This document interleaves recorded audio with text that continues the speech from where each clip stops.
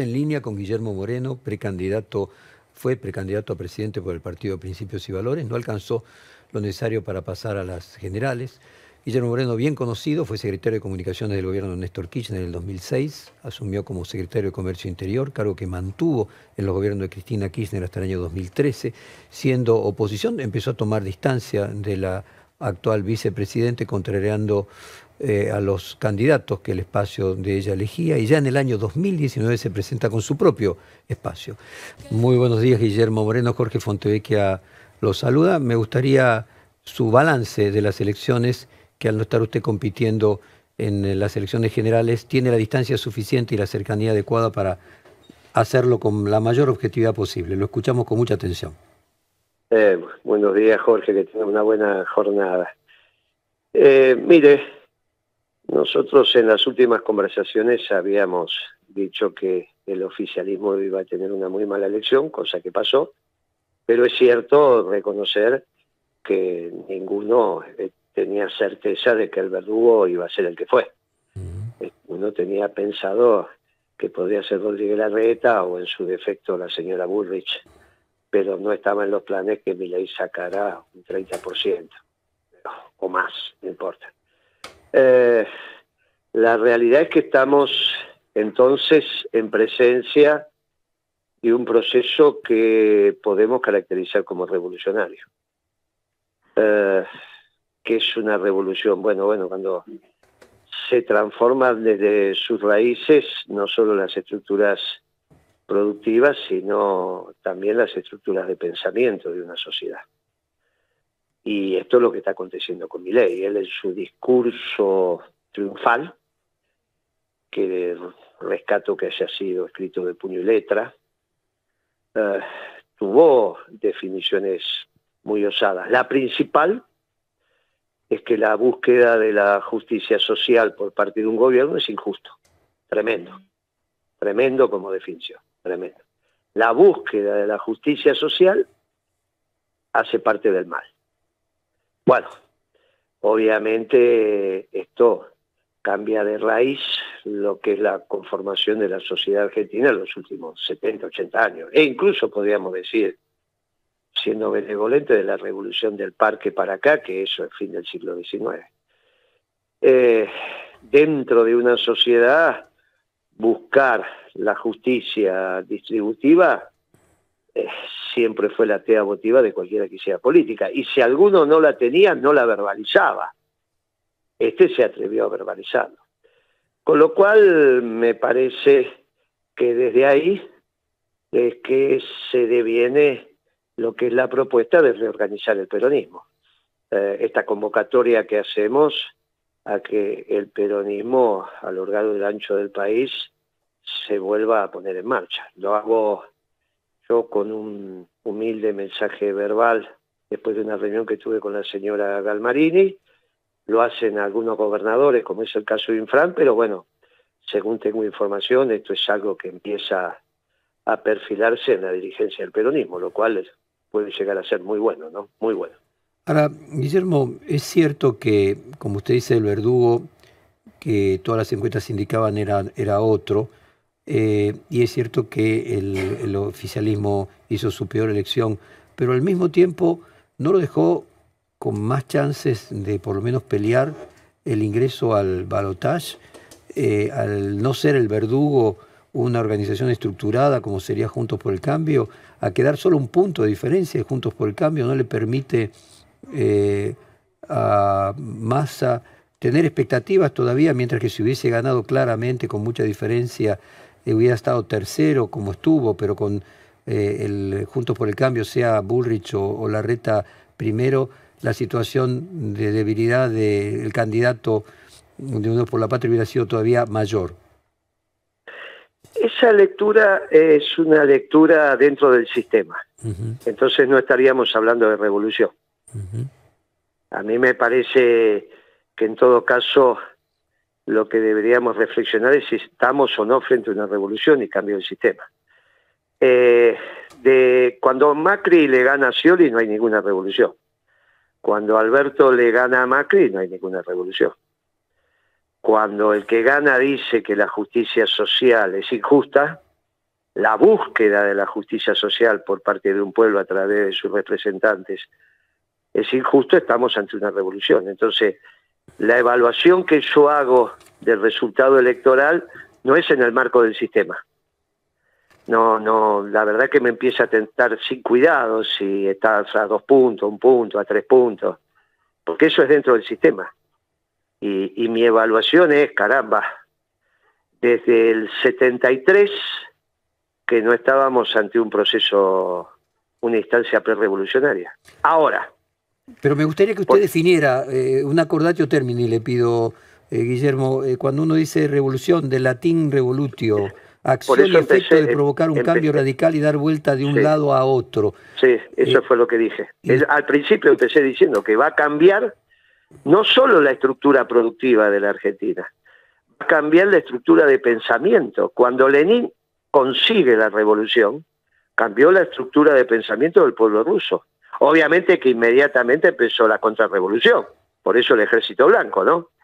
¿Usted, cree que realmente eh, la gente que votó a Milei no, no, Milei, la gente que votó, no, no, no, Milei no, eh, la gente no, Milei, Milei, Milei, Milei consiguió por A, B, C, D, por lo que fuere, tampoco eh, cuando Lenin consigue ser triunfante porque el pueblo ruso era comunista, si era un pueblo católico, bueno, católico, era ortodoxo, pero era un pueblo religioso.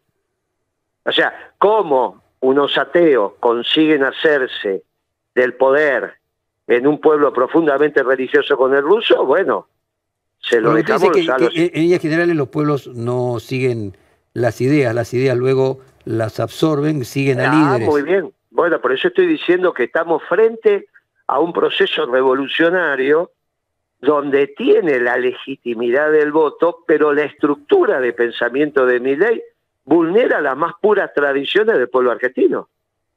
Si usted, yo le digo, ¿No es de sospechar eso de que finalmente por eso mismo la gente en realidad cuando lo escuche más va a terminar descubriendo que hay una ah, diferencia entre lo que dice y lo Sí, si el peronismo sale a la cancha. Por eso es tan importante al margen del candidato, que fue lo que conversé con la señora Galmarini. No es lo relevante el candidato. Lo relevante es si el peronismo es capaz de estructurarse con su doctrina que permee las políticas. Por ejemplo, la primer política que tiene que permear dentro de una semana, a más tardar, es que hay que revertir esta escalada de precios que hubo producto de la devaluación y la suba de la tasa de interés. Ningún economista peronista puede sentarse en una mesa donde la hipótesis de trabajo después de las elecciones es devaluar y subir la tasa de interés, sabiendo cómo eso perjudica el poder adquisitivo de los salarios o de los ingresos populares. Esto es un mamarracho lo que hicieron. Es obvio que en esa mesa no privaba ninguna de las conceptualizaciones peronistas. No hay un economista peronista que pueda recomendar esa medida. Yo los conozco a todos los que, escuchen, eh, Jorge, yo presidí la Comisión de Economía durante muchos años del peronismo. Sí que los conozco. Eh, de los que se sentaban en la mesa, uno solo falleció, que es Perelmiter, que era el economista de Scioli.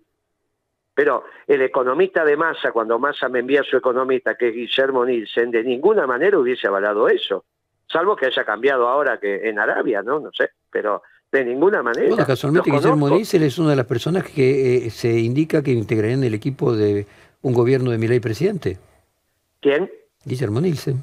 Eh, bueno, salvo que haya cambiado. Él, yo lo que le digo que es, era amigo de... Yo también conversé mucho con Milei y conversé con Giacomini. En ese momento eran socios. Entonces, ¿usted recuerda el título del reportaje de perfil de Nielsen eh, previo a que asumiera Alberto Fernández que decía que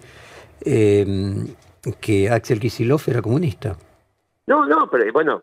Eh, ¿Usted comparte eso, Guillermo? Bueno, yo no sé, no sé qué es comunista. Axel Kicillof me dijo a mí que era marxista. Bueno, marxista, ahí está. Sí, sí, claro. O usted lo comparte. Después terminó, eso es lo que me dijo, terminó siendo socialdemócrata. O sea, eh, eh, los peronistas con los liberales y con los marxistas tenemos un diálogo. Con los neoliberales y con los socialdemócratas es muy difícil, porque es es, otro marco conceptual sobre la teoría del valor, esto es muy técnico, pero es muy difícil, eso es, son las dos bibliotecas, y ahí es, una, es, muy difícil. Ahora, Nielsen participó en nuestro gobierno y en la década ganada, y, fue un muy buen secretario de finanzas, fue básicamente el que trabajó para el ordenamiento de la deuda. No, no, se fue fundamental, es mano derecha de la baña, claramente. Claro, claro que sí, y, estaba en la mesa conmigo. Obviamente que cuando uno reflexiona, siempre hay sesgos, siempre hay sesgos. Ahora, yo no lo veo a Nielsen diciéndole a Massa, sí, vas a recuperar votos, cualquier cantidad, devaluando y subiendo la tasa de interés. A ver, una hipótesis.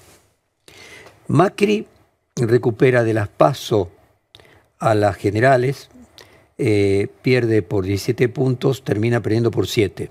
Recupera 10 puntos. Y recupera 10 puntos por lo que ayer hablábamos con uno de los analistas, lo que se llama el carro del perdedor. Usted vio que siempre se habla del carro del triunfador, que la gente se suma a quien ganó. En la Argentina la tendencia en las PASO ha sido que la gente se suma al que perdió. O sea, el que ganó queda estratificado en eso como un techo y el que perdió crece porque genera miedo. La sociedad argentina tiene miedo, toma conciencia, uy, mirá si realmente llega a ser presidente el kirchnerismo nuevamente, esa fue la, hipótesis. Entonces Macri recuperó 10 puntos. Esa es una hipótesis. Frente, eh, déjeme concluir esta por lo menos. y es, probable, o por lo menos que pueda haber resultado consciente o inconscientemente, que al revés una devaluación eh, con las características negativas que sostiene el bolsillo de la gente sea de alguna manera un mensaje que asuste a los votantes de Milei. Miren, si ustedes lo que quieren es Milei, aquí tienen un anticipo de lo que podría ser, lo que pasa en los mercados con la sola posibilidad de que este hombre pueda ser presidente y que se logre generar eh, miedo y finalmente mayor voto para el, con, el, candidato contrario al que ganó las PASO? No, mire, esa es, es una evaluación, una, mm. diría yo, una hipótesis más psicoanalítica que de las realidades efectivas. Mire, yo volvamos a Macri. ¿Qué fue lo que hizo Macri para recuperar votos? Vamos a las realidades conducentes. Todo lo demás, primero, le dijo a las empresas no paguen el IVA. ¿Está bien? Segundo, le dijo no paguen ni ganancias, ni los trabajadores ni las empresas. Tercero, congeló las tarifas y los precios. Trató de hacer todo lo que tenía que hacer en economía para recuperar votos. Y en lo popular, en lo movilizador, de la mano de Pichetto salieron a hacer actos por todos lados. Usted puede decirme a mí, no, mira, en realidad lo que privó es el miedo. Bueno, es algo absolutamente eh, eh, eh, indemostrable. Obviamente, como hipótesis ahora, lo que yo le estoy diciendo son realidades conducentes. Usted dejó de pagar el IVA en su negocio y yo también. Porque él permitió legalmente que no lo pagáramos. Se empezó a pagar a 60 días vista el vencimiento de IVA. Entonces cualquier gerente financiero fue, tocó la puerta del presidente y le dijo, mire el regalo que tenemos. O las dos cosas, ¿no? O las dos cosas, Guillermo. Bueno, está bien, pero una, una fue una realidad. Y lo que hizo, y están las normas ahí. Y lo demás es una conjetura casi en el mundo de otra disciplina, que sería parecería ser psicología de masas. Sí, bueno, que es una que a nosotros nos gusta eh, y, usted nos aporta las realidades efectivas y conducentes. A, lo mejor podemos hacer un mix. Esa psicología de masa, si ya la psicología está en duda como disciplina, imagínese la psicología de masa. Lo cual no le digo yo que no lo evaluemos. Bueno, llámelo sociología si a usted le gusta más, pero, pero hay algo, hay algo que no es simplemente la realidad de, lo, de lo material, ¿no? No, no, está bien, está fuera de la sociología también, está en el mundo de la psicología, era de algo que alguien podría definir como psicología de masa, que es muy raro. Pero yo le digo, teniendo el asado a 3.500, 4.000 pesos kilo la barriada, producto de esta devaluación y la suba la tasa de interés, que usted me diga que tiene más votos, porque eso genera miedo, mire lo que les va a pasar. Eh, van a tener asado a 10.000. Es muy raro, porque el hambre aprieta hoy. Y eso no explicaría lo del cambio lo de la transformación tan violenta que quiere hacer Milei, que es un proceso revolucionario. Ahora, yo le digo, ¿por qué los peronistas salimos a organizarnos, si se puede? Por masa, no, porque en realidad se tiene que empezar a, conformar la contrapropuesta a esta pretendida revolución que no se tiene que llegar a cristalizar. Imagínense que usted tiene que criar a su familia diciendo que la justicia social es injusta.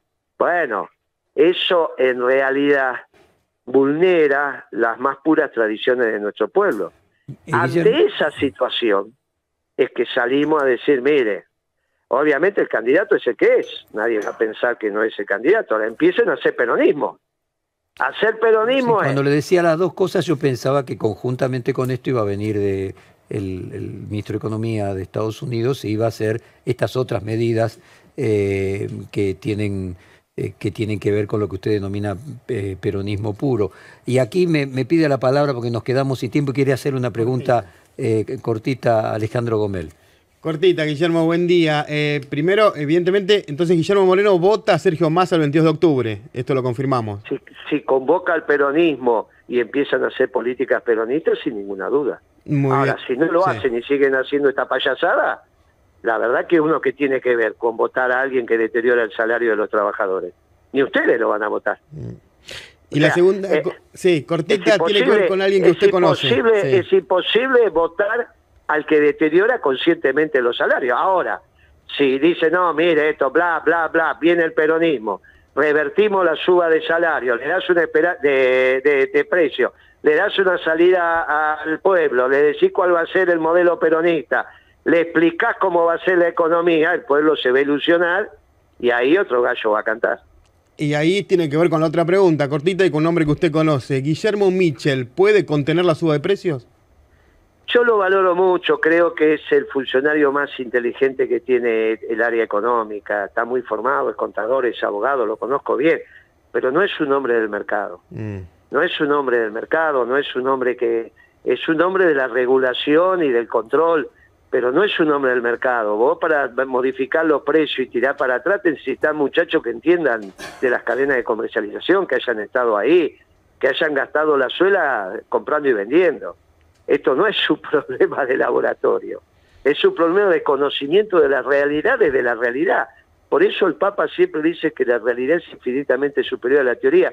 Y por eso, y con esto vamos terminando, eh, yo aconsejo humildemente, hubo un debate el domingo a la noche en un canal de televisión de los populares que sostuve con una militante libertaria, en el cual yo en algún momento eh, eh, empecé a tener un, silencio muy profundo, porque la dejaba hablar, porque la militante libertaria de un lugar extraordinario empezó a explicar que ellos venían a terminar con la pobreza y con la indigencia, y que nosotros los peronistas éramos los culpables de eso.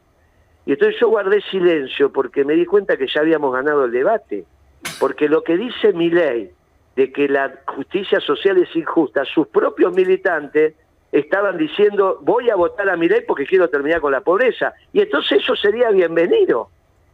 Ya eso implica que los activos que puede tener mi ley para hacer la revolución no son muchos, que solamente si nos organizamos los peronistas y ponemos la doctrina arriba de la mesa y como proa del barco, esto lo, podemos dar vuelta.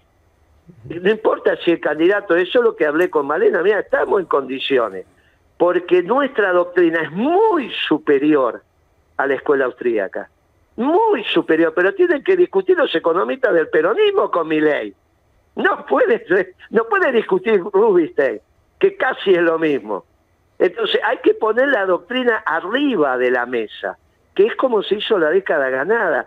Nuestra doctrina, comparada con la austríaca desde el punto de vista económico, es inmensamente superior desde el punto de vista instrumental y fundamentalmente desde el punto de vista moral y ético. Bien, ahora para eso se necesita el equipo peronista arriba de la mesa, que no es Moreno, ¿eh? Yo dije, pongo el mejor hombre que nosotros tenemos, que Chaliú, y traigan todos los demás. Y van a ver cómo esto lo damos vuelta rápidamente, pero también con instrumentos. Lo primero es revertir la suba de la comida escandalosa que hubo por una devaluación y suba de tasa de interés después de la elección. Si eso se da vuelta, si usted se da cuenta que la carne baja un 30%, ya el pueblo empieza a respirar y dice, uy, se puede, se puede, miren lo que es el peronismo en acción, démosle otra oportunidad. Gracias por su tiempo, eh, que me dio otra oportunidad también de hablar con usted y siempre me alegra. Me alegra y lo vamos a seguir haciendo todo el tiempo porque siempre nos resulta muy interesante su visión fuera de la caja, como se dice habitualmente. Lo despedimos, si le parece entonces, con tu veneno, pero ahora con su jingle, no con la versión de Natalia Oreiro. ¿Le parece bien? Sí, es mejor incluso, más divertido. Un abrazo grande.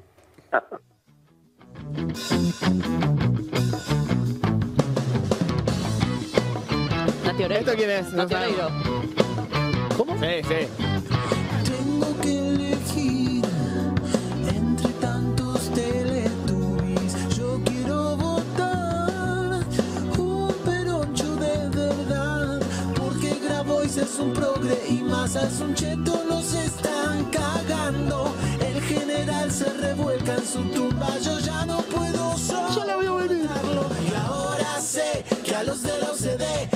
esos radicales ni los quiero. Ahora que decido por quién votaré. Peronismo yo quiero tener. Guillote Moreno. gente, chao. Prefiero termos. Guillote Moreno. Si sos gorila, chupame un huevo. ¡No, escándalo, escándalo! No podemos permitir los argentinos. No podemos permitir los que decimos ser peronistas. Y le llamo, le pido, le imploro a todos los peronistas y peronistas de la Argentina y los que conforman este Frente Nacional y Popular, que hagamos lo que sabemos hacer